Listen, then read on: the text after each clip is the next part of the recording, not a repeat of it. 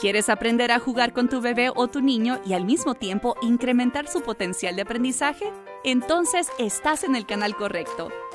Inchworm Academy. Es por medio de actividades productivas y juegos agradables que los niños pequeños construyen fundamentos amplios y firmes para el logro académico en el futuro.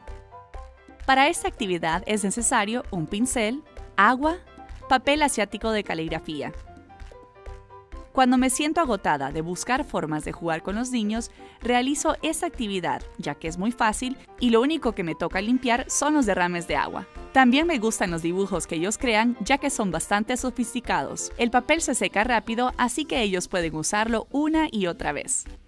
Además, esta actividad tiene muchos beneficios cognitivos, como habilidades motoras finas, Agarrar un objeto pequeño y tratar de hacer trazos con él requiere mucha práctica y trabajo.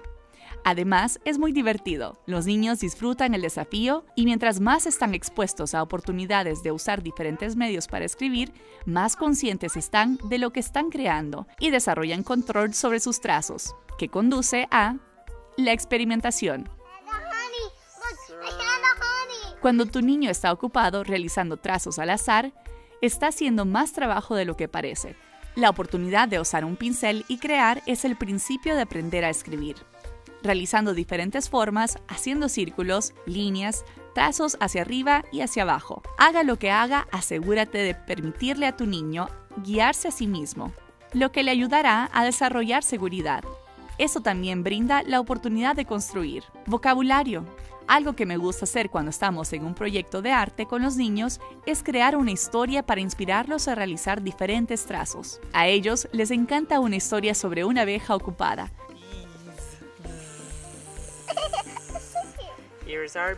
Había una vez una abeja ocupada a la que le gustaba volar en un prado y posar de flor en flor.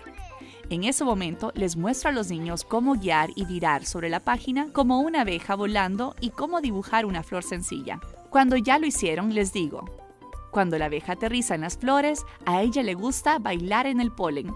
Entonces, les enseño a tratar de pintar pequeñas huellas en la hoja. Luego continúo la historia y les digo, And when he got home to his house, you know what he did with the pollen? Yeah. He made some honey.